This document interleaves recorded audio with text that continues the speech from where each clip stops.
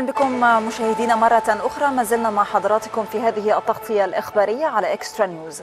رصد المركز الإعلامي لمجلس الوزراء أبرز الشائعات التي انتشرت خلال أسبوع في الفترة من العاشر وحتى السابع عشر من يناير لعام 2020 وعددها يقدر بعشر شائعات.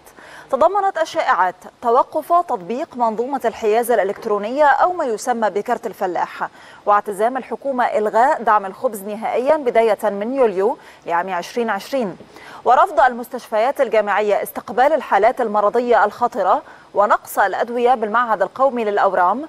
والحكومة تمنح أفضلية للمنتجات المستوردة على حساب المنتجات المحلية بعقود التوريدات للجهات الحكومية. وتداول عملات ورقية مزيفة فئة المئتي جنيه وتلف المحاصيل الزراعية تأثرا بالتغيرات المناخية. واستيراد الحكومة شحنات تقاوى فاسدة. وإصابة محصول القمح المصري بفطر الصدأ الأصفر. ونقص الأسمدة الشتوية بالجمعيات الزراعية بمختلف المحافظات. هذه هي أهم الشائعات التي تم تداولها على مدار الأسبوع الماضي. ولكن الآن دعونا إذا سمحتم نستعرض مع حضراتكم هذه الشائعات بالتفصيل وأيضا الردود الرسمية التي أتت ردا على هذه الشائعات. بداية دعوني أبدأ بوزارة التموين. والشائعة التي استهدفت وزارة التموين الأسبوع الماضي اعتزام الحكومة إلغاء دعم الخبز نهائيا بداية من يوليو لعام 2020 وزارة التموين ردت على هذه الشائعة سريعا قالت غير صحيح ونوضح أن الدولة مستمرة في صرف رغيف الخبز المدعم للمواطنين على بطاقات التموين بخمسة قروش دون أي زيادة وذلك في إطار حرص الدولة للتيسير على المواطنين ومراعاة أيضا محدودي الدخل. استمرارا أيضا لعرض الشائعات هناك شائعة أخرى استهدفت البنك المركزي. هذه الشائعة تقول تداول عملات ورقية مزيفة فئة المئتي جنيه. البنك المركزي أيضا رد على هذه الشائعة وقال أنها غير صحيحة وأكد في خطابه أو في بيانه على وجود تنسيق مستمر مع وزارة الداخلية ومباحث الأموال العامة لمواجهة أي عمليات تزييف لعمليات النقد الورقية. ووضحت أيضا أن عملية إنتاج عملات ورقية أو عملات النقد تتم وفقا لأحدث الطرق التكنولوجية وتخضع لعمليات تأمينية متطورة في جميع مراحلها. أيضا استكمالا للشائعات التي انتشرت الأسبوع الماضي الحكومة تمنح أفضلية المنتجات المستوردة على حساب المنتجات المحلية بعقود التوريدات للجهات الحكومية. أيضا الرد الرسمي الذي أتى على هذه الشائعة من وزارة التجارة والصناعة والذي أكدت على حرص الوزارة على متابعة التزام الجهات الحكومية بالقانون رقم 5 لسنة 2015 بشأن تفضيل المنتجات والصناعات المصرية في العقود الحكومية وذلك حرصا منها على صالح الصناعة المصرية وتعزيزا لدور الإنتاج المحلي. وزارة التعليم العالي كالعادة لم يعني تخلو من الشائعات التي أصابتها هذا الأسبوع أو التي رصدتها هذا الأسبوع قالت نقص الأدوية بالمعهد القومي للأورام. كانت هذه هي الشائعة التي انتشرت الأسبوع الماضي. وزارة التعليم العالي ردت سريعا شاكرة غير صحيح. ونؤكد أن المعهد القومي يقوم بتوفير كافة الأدوية اللازمة للمترددين عليه وأن المخزون الاستراتيجي لأدوية الأورام بالمعهد آمن ومطمئن وأيضا زادت في حديثها نوضح أنه جاري تنفيذ أكبر عملية تطوير للمعهد القومي للأورام منذ نشأته بهدف زيادة الطاقة الاستيعابية له بنسبة 30%. أيضا في ذات السياق واستعراضا للشائعات التي انتشرت الأسبوع الماضي نقص الأسمدة الشتوية بالجمعيات الزراعية بمختلف المحافظات أو يعني إذا سمحتم لي دعينا دعونا ننوه على هذه الشائعة قبل الانتقال إلى الشائعة الأخرى. أيضا استكمالا للردود التي أتت من وزارة التعليم العالي رفض المستشفيات الجامعية استقبال الحالات المرضية الخطرة. أيضا وزارة التعليم العالي ردت شاكرة على هذه الشائعة سريعا وقالت نؤكد أن كافة المستشفيات الجامعية بمختلف المحافظات تعمل بشكل طبيعي وبكامل طاقتها لاستقبال جميع الحالات المرضية وتقديم الخدمات الطبية المتميزة لهم.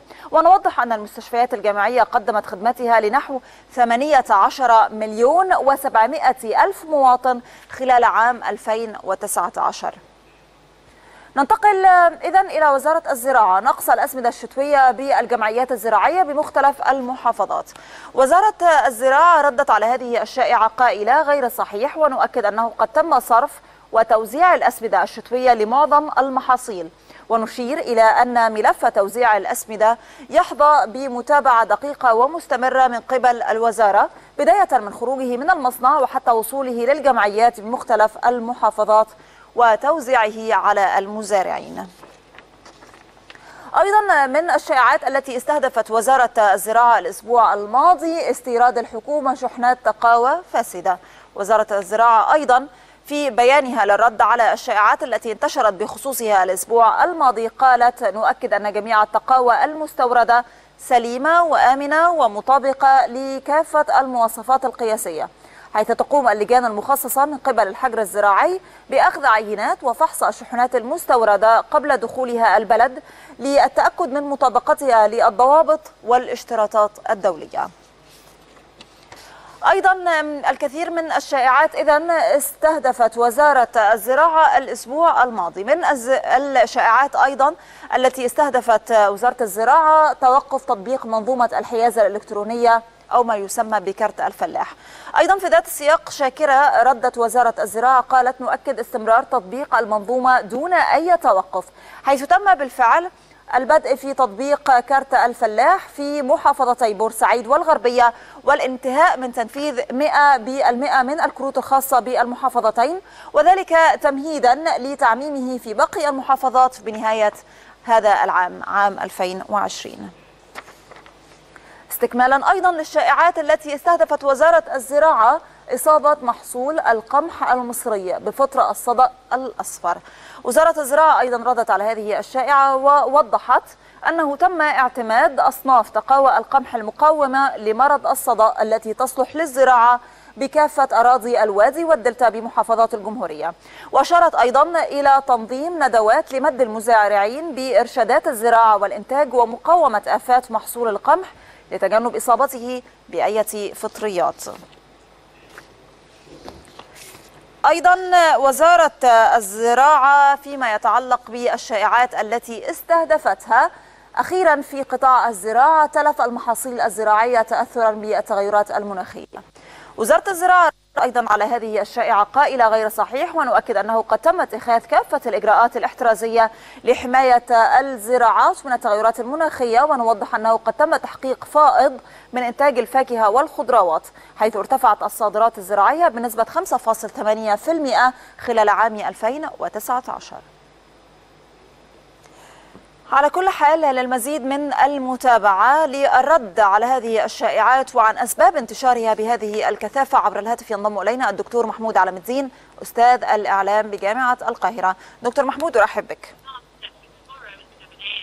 أيوة ستي معك نعم أرحب بك مرة أخرى دكتور محمود. في ذات السياق يعني انتشرت الشائعات بشكل مكثف الأسبوع الماضي فيما يتعلق بالقطاعات المصرية وخاصة إذا صح القول القطاعات التي تمس المواطن المصري. إن كنا نتحدث هنا عن وزارة الزراعة تعليقك دكتور محمود.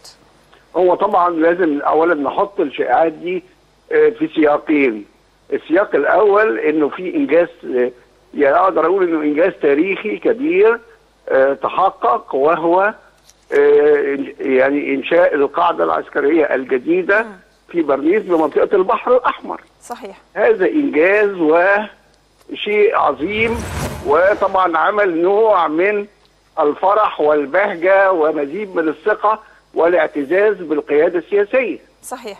طبعا كان لازم يبقى في حاجة تعكر المزاج العام وتعمل نوع من التوتر والقلق. فتم استغلال التغيرات المناخية الموجودة وبدأ يبقى في تركيز على عدد من المناطق الحيوية في المجتمع اللي هي ممكن تعمل فزع لو نشرنا شائعات.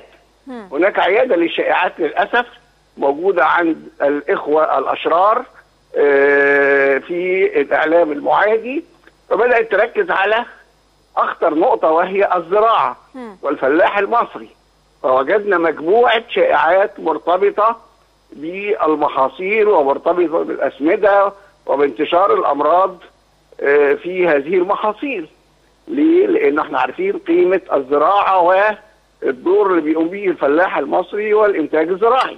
مم. نعم. فدي زاوية شديدة الأهمية آه لازم ننتبه لها. نمرة اثنين أيضا تم التركيز على قطاع الأدوية والعلاج. إن هناك نقص في الأدوية، صحيح. أن المستشفيات الجامعية لا تستقبل الحالات الخطرة، أن معهد الأورام يعاني. كل هذه الأشياء كذب واضغاث أحلام والهدف منها أحداث إرباك وفزع. أيضا ما يتعلق ب ظهور عملات مزيفة من فئة 200 جنيه. الهدف أيضا هو التشكيك وإحداث حالة من الفزع. صحيح يعني في هذه النقطة تحديدا دكتور محمود يعني ربما هذا الأسبوع انتشرت شائعة بوجود 200 جنيه مزورة إذا صح القول يعني يتم رصدها من البنك المركزي ولكن الأسبوع الماضي أيضا كان هناك شائعات تتعلق بأنه لا يوجد هناك عملات معدنية دكتور محمود. يعني فيما يتعلق باستهداف وزارة المالية أو البنك المركزي بهذا النوع من الشائعات ما هو الدليل عليه دكتور محمود؟ أو هو ما طبعا هو, هو طبعا انت عارفة حضرتك العملات يعني هي وسيلة التعامل الأولى. ويعني الشيء اللي ممكن يعني إذا شك فيه المواطن يعمل له إرباك في حياته ونوع من الفزع. وهذا هو الهدف. يعني هو الهدف البحث عن كيف نفزع المواطن ونشككه في كل شيء أمامه مم. فطبعا هذه المسألة شديدة الخطورة وتخيلي حضرتك لو إنه لم يتم الرد على هذه الشائعة ولم يستوعبها الوعي الجماهيري كان ممكن يحصل إيه؟ نعم صحيح طيب دكتور محمود يعني عندما بدأت تنتشر هذه الشائعات بشكل كثيف أصبح هناك ردود رسمية على هذه الشائعات كل شائعة على حدة إلى أي مدى هذه الردود هي كافية لردع هذا الحجم من الشائعات دكتور محمود؟ يعني هو طبعا يعني هناك جهد بيعمله مركز معلومات مجلس الوزراء بالتعاون مع الوزارات والوزارات تقوم بدورها بتوفير الرد لكن أنا أتمنى إن كل وزارة تعمل نوع من المتابعة تعمل follow up لهذه الشائعات بمعنى إن هي تنشر المعلومات الصحيحة وتعمل نوع من الخدمة المعلوماتية والإعلامية للمواطنين حولها بمعنى ما يتعلق بالمستشفيات الجامعية وتوافر الأدوية ينبغي أن يكون هناك بيانات عن المستشفيات الجامعية وما تستقبله من حالات. يعني عندنا أعتقد دلوقتي حوالي 50 مستشفى جامعي تقوم بتقديم خدماتها ليمكن ربع الشعب المصري. فهنا لابد الناس تعرف أنها تعمل وهناك جهود حثيثه لتطويرها. أيضا معهد الأورام القومي وجهود التطوير. أيضا كل ما يتعلق بالأسمدة وتوفيرها. أيضا العملات وإزاي وزارة المالية بتتخذ إجراءات. يعني هنا أتمنى إن الوزارات تضع في أجندة تغطيتها الإعلامية المتابعة لمثل هذه الأمور وإعطاء مزيد من المعلومات عن كل نقطة من النقاط التالية حتى لا يحدث استثمار لها ويحصل نوع من الإحباط لأي محاولات مسبقة قصدي تالية تحدث من جانب الجهات المعادية والجهات المضللة اللي بتعمل على إفساد وعي المواطن. نعم طبعا أنا بشكرك شكرا جزيلا. أشكرك. كنت ضيفي عبر الهاتف الدكتور محمود على بنزين أستاذ الإعلام بجامعة القاهرة. شكرا لك.